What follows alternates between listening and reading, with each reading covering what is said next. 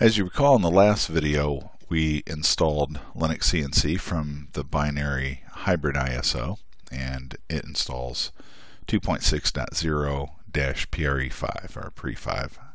So in this episode, um, again, we're still running in the virtual machine uh, so that I can show you how to do this. we're going to log into uh, this uh, Linux CNC. Remember I set my username as Joe H and my password is CNC. Now the very first time we log into Linux CNC, it may take a little bit because it'll have to have to kind of build your desktop and all that sort of stuff. Um, but what we'll see is that uh, there are basically two ways that we can go about uh, upgrading to Linux uh, uh 2.6 or Linux CNC 2.6.3. And the first way is pretty obvious. You see a message that will pop up on the screen here that says software updates are available. There are 42 updates available. Click on the notification icon to show the available updates. So if we click on this little icon up here, uh, we're asked for our password. And if you're not familiar with Linux, uh, Linux, um, in order to uh, make modifications to the system, normally calls uh, calls for the use of uh, the super user root. Uh, but it's kind of it's unsafe to log into a Linux computer and use root all the time. You can inadvertently mess something up. So anytime that you're going to make uh, changes to the system, it will ask you for your password, and uh, by default, the first user that you create has access to uh, the root user through a program called sudo, S-U-D-O, or sudo. Um, allows you to do things as root. So we're going to put in our password, CNC and hit enter. And then the um, application program called apt-get that uh, does the um, uh, stuff in the background for doing updates will run inside of Update Manager here. Now Update Manager, this will show you all of the programs that currently can be upgraded or updated for either for security reasons like we see here or just because there's newer releases of the software. And if we scroll all the way down to the bottom here We'll see third-party updates. We'll see Linux CNC uh, from version 2.6.1 to version 2.6.3 and this is the newest version. So we could just simply hit install updates here and it'll do it for us. Um, and we'll come back and do this, but I want to just show you another way. So we're just going to close this for now. I'm going to open up a terminal by clicking the little terminal icon down here at the bottom and we're going to do this um, by command line. It's kind of the way I prefer to do it, although it's really six of one, half a dozen of another. We're going to do that by typing sudo, and then the program we want to run is called apt-get. And what we want to do is we want to update. Now, update will go out and read all the software repositories and see if there's anything uh, out there that can be updated. So you hit enter, it asks for your password.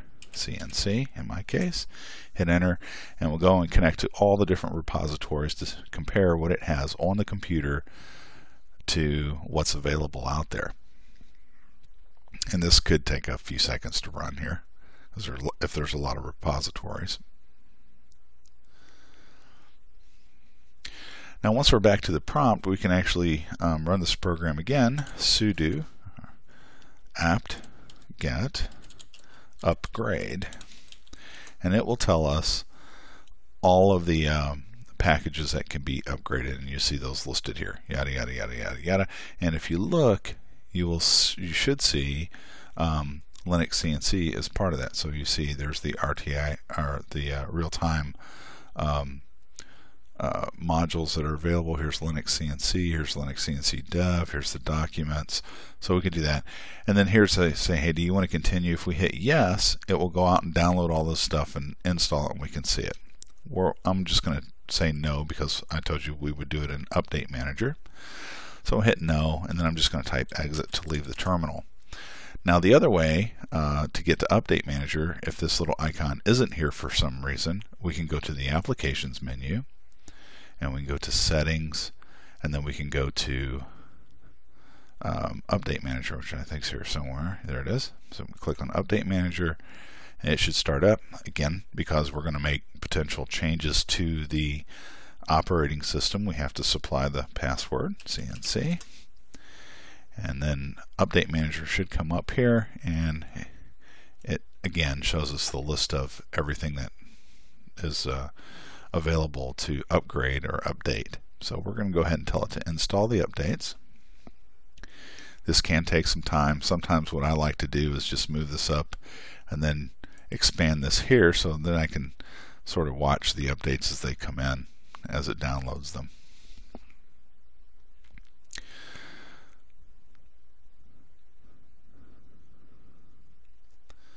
It's important to run updates on your machine um, as time goes along because there's there's bug fixes or security fixes, particularly if you allow your machine to connect to the internet.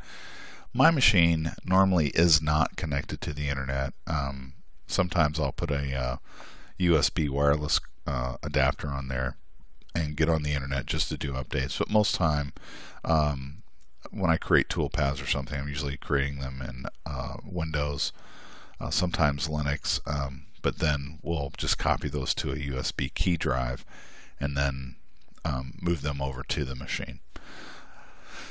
I don't have any real particular reason why I do that. I just uh, most of the USB uh, my shop, you know, there's no in internet out there other than wireless, and most USB wireless uh, adapters that I've found don't seem to work well with Linux. Now, if somebody out there has one that uh, uh, will work natively with Linux where you don't have to use the uh, the, the, the Windows drivers or something, uh, please, please um, send me an email. Let me know what that is because I'd like to have one or maybe five.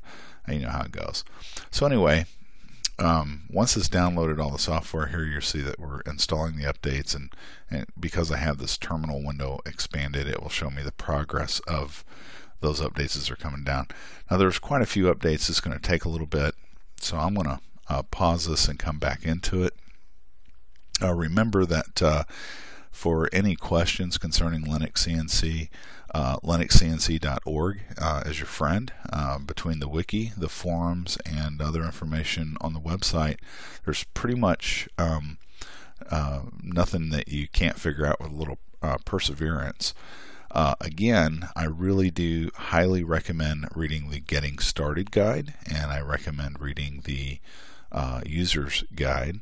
The other two guides I, I would suggest reading, uh, but maybe wait till you're a little bit more comfortable with how um, Linux CNC works. Now, while this is installing, if we come up here to the Applications menu under CNC, we'll see we'll see that that documentation is there. So there's the Getting Started guide the um, um, user manual and the quick G-code reference. And so these are pretty handy things to have.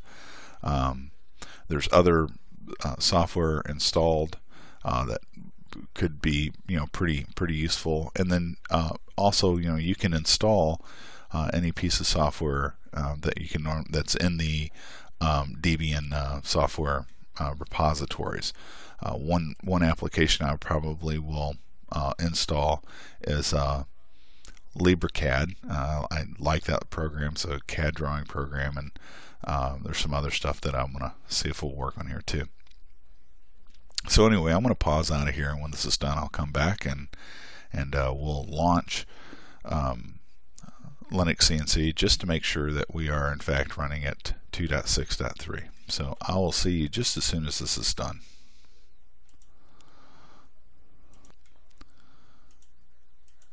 Okay, now that the updates are uh, completed, we'll we'll get a message here saying that the system's now up to date, and we can close. And uh, we can close the update manager as well. So now we're going to launch Linux CNC just to make sure that we're up to the proper version. We're going to go to Applications menu, CNC, and click Linux CNC. Now when we go to actually install the KRM or Linux CNC for uh, KRM, when we set up its profile, not to be confused, we've already installed Linux CNC, but when we set up the profile for Linux CNC, we'll use StepConf uh, to kind of help us get that set up, and then we'll modify the files from there. But when you launch Linux CNC, um, you'll see that there are all these sample configurations that you can load, and underneath the sim or simulator, there's some Axis machines, and we're just going to select this first one and select OK and then uh, it wants to know if, it, if we want to create a sample configuration in the home directory so we can customize. We'll tell it yes, but we'll go probably go off and delete that later. Okay, it tells us that it's been copied over. We hit OK, and then Linux CNC should start, and here we see it is in fact 2.6.3. And then we get the notification about the Axis um, tool changer, which we can ignore. And we have some other errors down here. I'm not sure what these are, but uh, it could be because of the simulator we selected or something else. But the big thing was that we wanted to make sure that um, we did in fact get updated. So there's uh, Axis uh, uh, running the Axis window manager, I guess we can call it for Linux CNC um, version 2.6.3. So we're, we're, we're doing good here. So I'm just going to exit out of that. Okay, and again, I just want to point out that uh, under the CNC folder, here's the Getting Started guide. This is uh, well worth taking your time to read. Um, um, and go through it and just kind of get your feet wet. So until um, that would be good homework until I get a, an opportunity to actually get uh, this installed on the PC that I'm going to use to control mine and get the uh, record my desktop stuff set up on it so that um, I can actually record from the machine that's going to be running the uh, the the the KRM rather than from a virtual box. So again, thank you uh, very much for your time. If you have questions, feel free to contact me. Again, you can go to myheap.com. You can click the contact us and fill this out and, and the captcha codes and, and I will get that email and, and I'll respond to you as soon as I can. I've been quite busy here lately, so please be patient. If you have uh, more immediate needs, uh, I would go to Linux CNC, go to uh, the forums, which is where I'm logged in now. You'll see me as Joe Hildreth. Um, you can PM me there, or you can post messages in any of the number of uh, forums uh, for that purpose. So again, um, thank you for your time and um, uh, and patience with all my stammering and stuttering. I'm really not a very good speaker, but hopefully this helps out somebody. Uh, thanks again. Have a great day.